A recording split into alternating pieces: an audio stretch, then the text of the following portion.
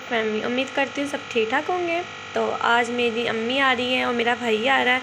तो मैंने सोचा उनके लिए ना कुछ बना लूँ। तो ये मैंने लस्सी सैलड बनानी है, एप्पल फ्रिज में भी पड़े हुए हैं। तो थोड़ा सा मैंने और मंगवा लिए हैं, हरी मिर्चें मंगाई हैं, चावल मंगाए हैं और दही भल्ले बनेंगे। और गर्म पानी रखा है मकरोनियों के लिए। आलू मैंने उबाले होने रख दिए हैं, फिर दही भल्ले बनाऊँगी और साथ में पुलाव होगा। और साथ में रस्सी सैलड होगी और मैं आप लोगों को रेसिपी भी इसके साथ शेयर कर दूँगी और आप लोगों को इसमें अपने शामिल भी कर दूँगी। बनाने लगे हैं पुलाव के लिए। हमने एक किलो चिकन लिया है, ठीक है? और एक बड़ा प्याज ले लेंगे, दो छोटे प्याज ले लें, ठीक है? सात आठ हरी मिर्ची मैंने चॉप कर लिए दो मैंने साबुत रखी हुई हैं, दो बड़े टमाटर काटे हैं मैंने। ये लहसुन अदरक का पेस्ट है, ठीक है? और इसमें है एक चम्मच भर के ज़ीरा, दो बताने के फूल, लौंग काली मिर्च और दालचीनी, काली मिर्च ये देखिए, पीसी हुई थोड़ी सी गरम मसाला आधा चम, सूखा धनिया, आधा चम्मच, ठीक है, भर के, और ये चिकन पाउडर। अब हम इसके अंदर ऑयल डालते हैं।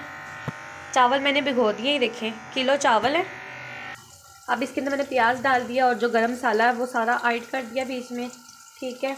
और नमक मैं चिकन के साथ डालूँगी, एक चम्मच नमक, ठीक है। वो जब चिकन के अंदर सब डालते हैं ना तो बड़ा अच्छा फ्लेवर आता है, ठीक है। ये देखिए, प्याज तो गोल्डन होता है तो मैं चिकन ऐड कर दूँगी बीच में। ये पुलाव की रेसिपी है, बहुत मज़े की बनती है, झटपट बनने वाली है रेसिपी ये। और उसके बाद हम बनाएँगे दही भल्ले, फिर बनाएँगे सैलड हमने इसके अंदर चिकन डालनी बिस्मिल्लाह। ठीक है? तो सारा चिकन डाल दूँगी बीच में ना?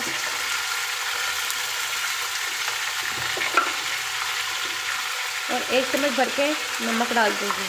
ठीक है?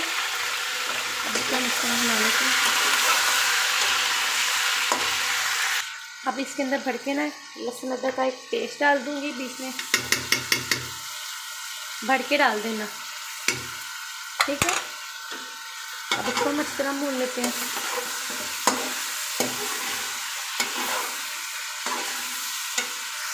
अब इसके अंदर टमाटर और हरी मिर्ची जाएँगी इसमें, ठीक है? थोड़ा सा पानी इसके अंदर डाल के ना।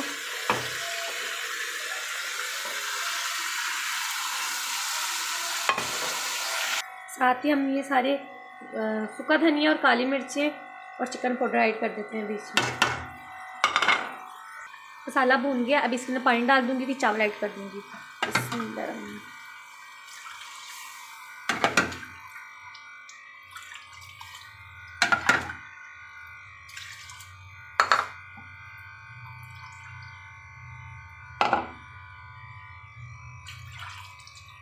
पानी डाल दिया है। चावल मैंने इसके अंदर ऐड कर दी अभी। अभी चावल मैंने डाले इसके अंदर, ये देखें ठीक है, और एक चम्मच भर के मैं नमक और डाल दिया लेकिन आप नमक चेक करके फिर डालें। ठीक है? अब मैं सोचा, दही भल्ले बना लूँ जब तक ये चावल बन रहे हैं मेरे। अब दही भल्ले, ये मैंने ना तो इसके पापा दही लेके मेरे ख्याल में ये है दही। आधा किलो से कम है। आप एक एक बड़ा जो प्याला होता है ना, ये देखिए देखिए। जितने आपने दही लेना, आप उस हिसाब से ले सकते हैं दही। आप उसी तरह उसको ना, इसको इस तरह कर लें कि इसके अंदर ना जो लम्स है ना, वो दही के ना रहे। देखिए। फिर इसके अंदर ना, बिस्मिल्लाह, इसके अंदर ना ये धनिया और दो हरी मिर्च डाल के ना मैंने इसको ग्राइंड कर लिया था। ये सारा डाल दूँगी इसके अंदर। ठीक है? इसको मिक्स कर लेते हैं। कर लिया। अब इसके अंदर ना सारे खीरे हैं, टमाटर हैं, इसके अंदर ये डाल दूँगी, प्याज है, ठीक है, और ये आलू हैं, ठीक है, और इसके अंदर पर चाट मसाला डालेंगे, नहीं तो फुल्कियाँ ना टूट जाएँगी। अब इसके अंदर हम ना थोड़ा सा चाट मसाला डालेंगे, ठीक है, दूध डाल लें या पानी डाल लें इसके अंदर ना। चाट मसाला डाल दिया उसके अंदर ना इसके अंदर फुल्कियाँ डाल दूँगी सारी। और इसके अंदर ना थोड़ा सा नमक ऐड करूँगी बस बीच में। हमारे दही भल्ले भी तैयार बन गए हैं पुलाव के साथ।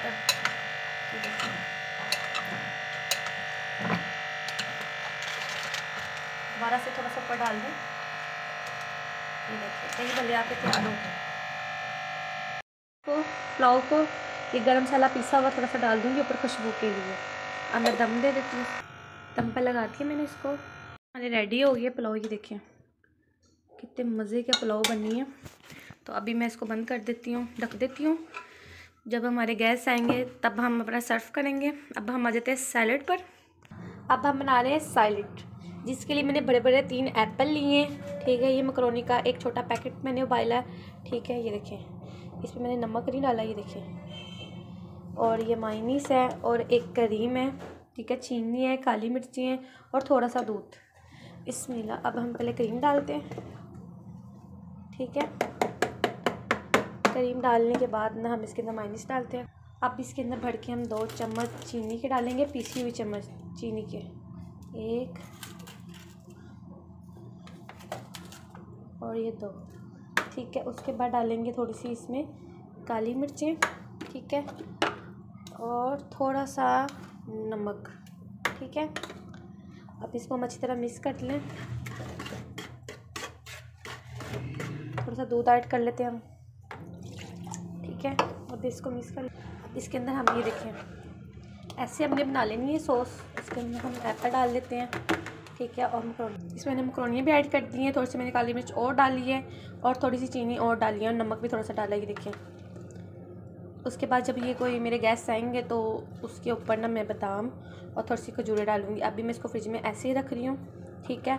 और इन दूसरे व्लॉग में मैं आपको मेरी अम्मी और मेरा बस मेरा भाई आएगा, वो दूसरे आपको दूसरे व्लॉग में दिखाऊँगी और उनके आगे खाना सर्व करूँगी, वो भी मैं आप लोगों को व्लॉग में, दूसरे व्लॉग में दिखाऊँगी। और, इसकी इनकी नानो बच्चों के लिए क्या लेके आई, वो भी आपको इंशाल्लाह दिखाऊँगी दूसरे ब्लॉग में। तो ये वाला ब्लॉग यहीं ख़त्म करते हैं, ठीक है? उम्मीद करती हूँ आज का ब्लॉग आपको बहुत अच्छा लगा होगा और ये रेसिपी बहुत अच्छी लगी होगी। तो प्लीज़ मेरे चैनल को सब्सक्राइब करें लाइक करें और शेयर कीजिए दुआओं में लाजमी याद रखें। अल्लाह हाफिज़।